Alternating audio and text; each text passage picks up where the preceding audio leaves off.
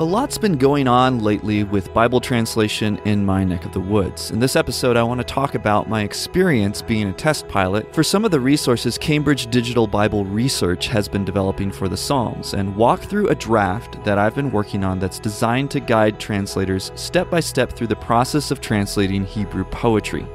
This is Working for the Word, and I'm Andrew Case. Let's get started.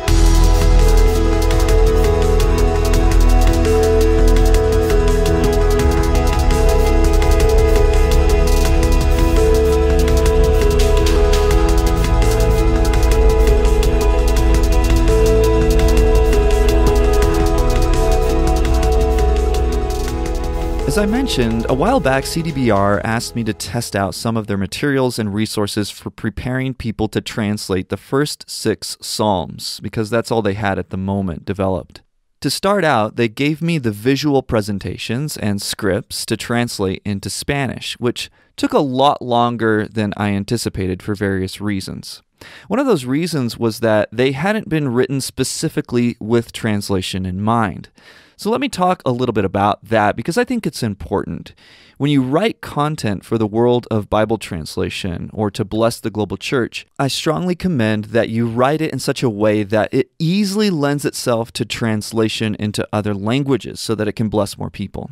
The optimal way to do this is to be bilingual so that you can anticipate many of the things that will make the translation of your material less of a headache for both people and for machines. Nowadays, it's often better to do a first draft translation with machine translation like Google Translate and then have a mother tongue speaker fine tune that translation. It saves a lot of time the better that initial translation is, the less work the mother tongue speaker will have to do, and the less time it will take to have a final product. So, this streamlines the whole process and makes it much simpler to get your work into the hands of other people who don't speak English.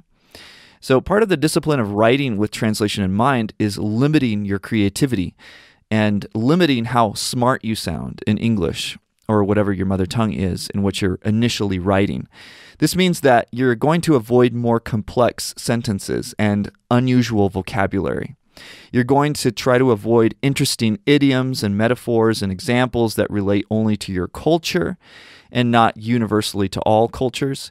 And you're going to avoid elevated jargon as much as possible. In other words, you're going to write like you're explaining something to a 10 year old as much as possible. Now, I realize that that's not always possible, but as much as possible. And not everyone is able to do this automatically. It takes time and practice, and it's a skill I would encourage you to develop.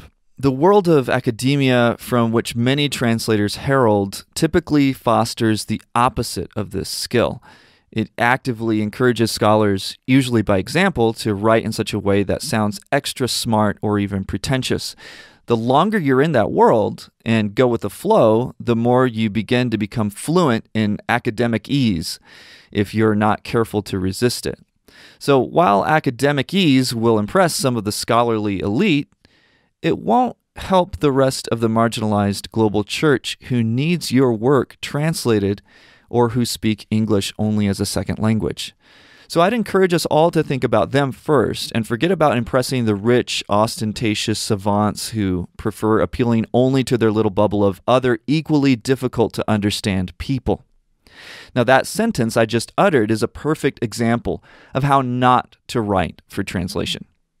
So, that said, after working on the translation of the Psalms resources, I began a week long workshop with the translators who represented two different teams who speak related dialects of Mixtec. They're being funded by the Seed Company to do a translation of the Psalms for their languages over the next five years. The cost for this project is budgeted at about seventy-five to hundred thousand dollars. Now, the language vitality of the groups has not been scientifically evaluated recently, which, for the record, I disagree with, and I've only agreed to help with the workshop on the condition that this will be done soon. Now, life happened, and only three translators showed up to the workshop, and one of them had such bad internet that he was hardly able to interact at all since it was all via Zoom. The back translator for one of the projects had only just been recruited, was about to get married, and didn't have any training in translation principles or back translations, nor did he have a firm handle on paratext yet. I had not been made aware of that when the project was proposed, so we did our best to work under the circumstances, but it was highly, highly not ideal. What I realized right away was that even though the CDBR resources helped the translators do a deep exegetical dive into each psalm, they still needed concrete steps by which to do the work of translation. After a week of the workshop, I had a better idea of their needs and weaknesses and decided to write a translation guide for them to work through. I'm going to read through that in a sec, but I want to make clear that I've already had a good debriefing with CDBR about their materials, and they've taken my many suggestions and are already improving their content accordingly. So I'm thankful for that, thankful for the opportunity to give them feedback. They're producing some amazing resources, and I'm really excited to see how they mature and develop in their presentation and their usefulness for Bible translators on the field. Now, another thing I did to test the translator's attention to detail was to create a two column document of scripture for them to check for mistakes. I believe I mentioned this in a past podcast. But basically, the idea was to have these two columns one column that was the master column and one column that was full of different kinds of mistakes. So they had to go through the document and identify those mistakes. This gave me a much better idea of where they were at in their ability to identify really, really small mistakes and also larger mistakes. And then at the same time, it gave them a good exercise in seeing the kinds of things that I'm looking for them to be able to identify and catch, and just some good practice. Now, some of the things I've seen in workshops on translating the Psalms or Hebrew poetry is a lot of talk about identifying different technical elements of poetry, like here's a metaphor, and here's a simile, and here's a chiastic structure, etc. Then often they'll walk through an in depth exegesis of a poem in the Psalms, and that supposedly is an example or a model for what they should do themselves. But rarely are very, very concrete, detailed steps given to the translators on how to use all of these things that they've learned and develop good habits and skills that will make them better translators of Hebrew poetry. So let's just walk through this draft that I've attempted to create for that purpose. I don't intend it to be the last or best or most refined example of this, but at least it's my first attempt. So I hope this is helpful for other people to think through, and possibly some of these steps could be reordered. So, step one read the entire psalm aloud in the Reina Valera and the NVI, which is the Spanish version of the NIV. Number two, identify the parallels in each version. For example, let's look at Psalm 47 5 in both versions, and the parallelism is marked in bold. So we see that, and I won't read this in Spanish, but in the Reina Valera 1960, the parallelism is preserved in the translation.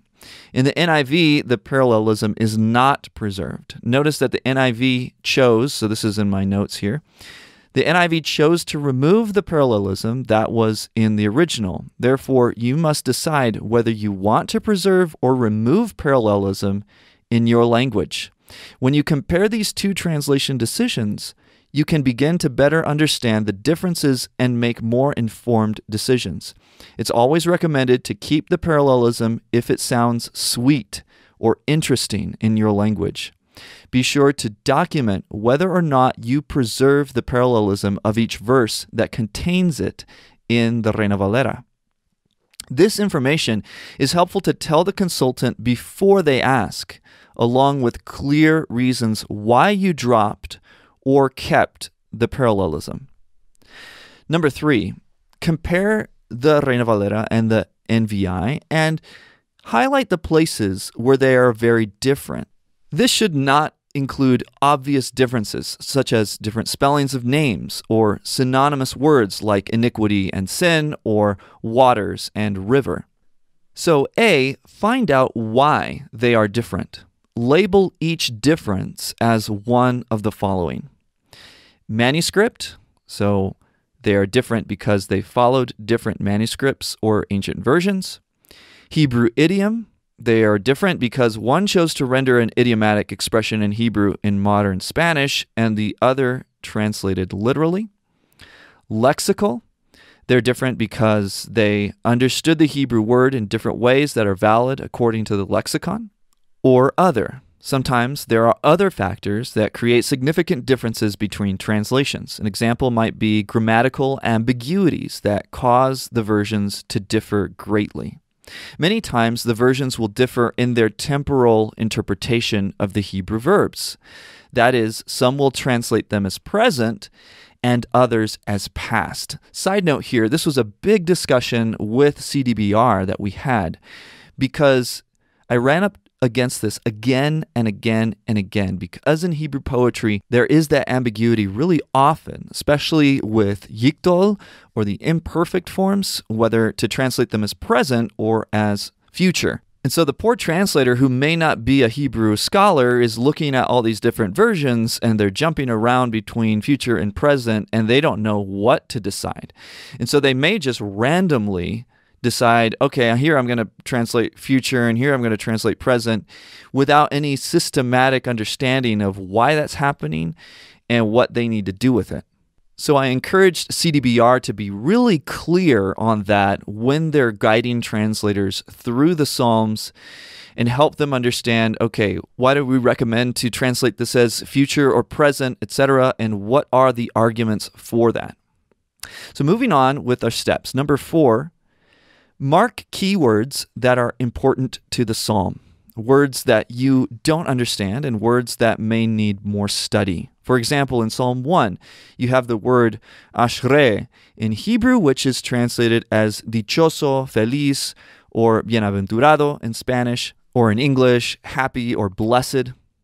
So it's an important word that we need to understand in order to understand the message of the psalm.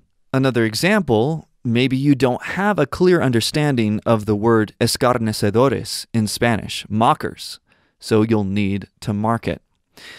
B, find each keyword you've marked in the Hebrew text and then look it up in the lexicon. Sometimes you will be able to locate the word directly, or else you may need help from the Reina Valera Enhanced resource. The best lexicon for the most detail is the one by Schökel, a lexicon that came out of Spain. Really, really excellent. C. Take notes on your work. If you discover something you need to remember later, write it down and keep it organized. If you learn something important about a keyword, use the key terms tool in Paratext to write notes and decisions you've made about the word. Number five, after you've studied all the words, phrases, and translation differences that you need to study in order to understand the poem, meditate on it and write down what you think the main message or purpose of the poem is. Mark some of the key verses in the poem that seem to be important to the author. For example, you could say that the main message of Psalm 2 is My King in Zion. This psalm is about earthly kings, the heavenly king, and the most important, God's King in Mount Zion, the place where heaven and earth meet. An important verse in the poem is verse 6 But I have put my king on Zion, my holy mountain. Step number six identify poetic elements in the poem that you want to preserve. This could include things like the vivid imagery of Psalm 73 9. They set their mouths against the heavens, and their tongue struts through the earth. In that last phrase, you can picture in your mind a bunch of tongues walking through the earth. This is an example of poetry that isn't immediately understood, but it captures your attention and forces you to think about it. It's more memorable. One version took away everything poetic in that phrase by translating it as follows and I have an example here from a Spanish version that literally, roughly translated, is they try to guide the whole country. This is acceptable only as a last resort when you've exhausted all the creative resources of your language or have confirmed that it will be impossible for anyone to accept a more poetic rendering of the phrase, their tongues strut through the earth. Now, step seven Identify elements in the poem that reveal a different culture than your own. These poems were written thousands of years ago in a culture very different from your own. Keep that in mind as you seek to understand it and take notes on those cultural differences. For example, Psalm 2 speaks about kings, but most people groups no longer have kings. If you don't know much about kings in the ancient world around Israel, it would be wise to find an article in a biblical encyclopedia that tells you more about kings of the ancient Near East. eSword has some very good biblical encyclopedias in Spanish if you don't already have a printed version. A, another example, the Psalms were designed for use in the temple, which was very different from our modern churches. In the temple, they offered animal sacrifices, which we don't do today. These may be obvious, but you need to keep them in mind so that you don't make the mistake of imagining David as a pastor of a modern church writing poems about modern church issues. B, another example, the Psalms often use the word shield as a metaphor for God and his protection. If you don't have a word for that, you need to decide what to do, whether to translate it as protection or with a descriptive phrase or something else. Keep track of these decisions so that you can reference them later when you come to the same thing later on in the translation process so that you can be consistent. One way to do this will be with the key terms tool so you can quickly see what you've decided in the past and why. It's important to record the reason for your decision so that you can explain this to the consultant. When we translate poetry, there are a lot of good options for any given translation challenge, but we need to be able to show why the option we chose is the best one we need to be able to show this to the consultant and to the language community when they ask. Step number eight keep careful notes of your translation process. For each line of poetry or verse, document what version, commentary, or other resource influenced you the most in the translation of that line, phrase, or verse. For example, if the UBS Translation Handbook influenced your decision on a particular phrase, line, word, or verse, then just make a note of that that says UBS. You can write this note in brackets within the back translation, or you can keep a separate notebook where you write down the verse reference and the sources that influenced the way you ended up choosing to translate. Another example if the NIV was the version that made most sense and was easiest to translate into your language on a certain verse, then just make a note that says NIV. Number nine, there are two problems you will need to solve on a regular basis. Number one, whether to translate Hebrew verbs in poetry as past, present, or future. This dilemma has plagued translators for centuries and is not an easy decision. If your language does not have an aspectual verbal system like Hebrew, you will probably be forced to make a decision on the temporal translation of these verbs. The versions will differ on this constantly. For example, in Psalm 2 2, the Reina Valera 1960 version translates the verb as future. Se levantarán los reyes de la tierra. The kings of the earth will rise up. But the NIV translates it as present the kings of the earth rebel. Both versions translate the imperfect aspect of the root yatsav in this verse, and both are valid interpretations. Here are some suggestions on how to arrive at a solution. One simple solution could be to decide to use only one version, like the Reina Valera 1960, and stick to its translation decisions regarding the time of the Hebrew verbs. For example, if it translates something as present, then you do the same and consistently follow their decisions. This will avoid getting confused and mixing verb tenses by jumping back and forth between different versions. Once you decide on which version you will follow in verb decisions, document it and make sure to communicate your decision to the consultant.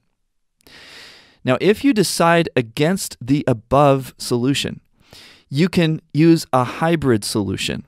This would involve the work of studying the poem and deciding which kind of verb renderings make the most sense to your team and in your language. For example, it may be that in certain contexts, a future verb may sound better than a present verb in your language. If you choose this solution, you should be aware that it involves much more work and also carries the risk of failing to be consistent and breaking the internal logic or coherence of the poem. Once again, if you choose this option, document it and make sure to communicate your decision to the consultant. Now, the second problem you'll have to solve on a regular basis is how to divide the lines of poetry. Often there's a confusion between versions about where the lines of poetry should be divided. For example, in one verse, the Reina Valera 60 may have two lines and the NIV three lines.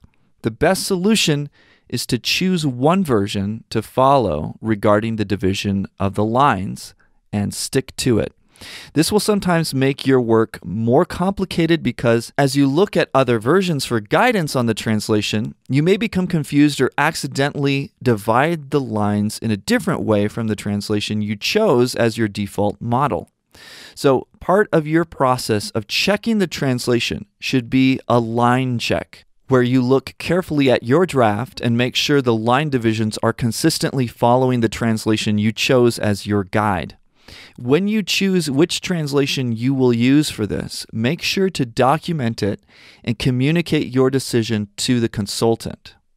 Step number 10 All the previous steps should have led you to develop a rough draft. At this step, you should carefully revise and polish the draft you have. Number 11, now it's time to read your translation aloud three times. If the psalm is too long, break it into meaningful sections that you can use to work through the steps that follow. So here are the steps in that process. Number one, the first time, read it and work on becoming familiar with the sound of your translation. If you notice anything that needs to be smoothed out, smooth it out. Number two, the second and third times, read it out dramatically with all the emotion that you think the psalm should carry. Number three, pay attention to how it sounds. Does it sound beautiful? Does it sound interesting? Remember that there is a delicate balance between naturalness and unnaturalness in poetry. In most languages, poetry does not sound natural because it is not the way people speak every day parentheses, this is a huge issue that has to be emphasized more in translation principles, in the training workshops that translators go to, and all of that, because I think most of them are coming out not understanding that poetry usually does not sound natural. And that parentheses. So when you read it aloud, it should sound like something extraordinary or even strange sometimes. Think of narrative like water and poetry like a tostada.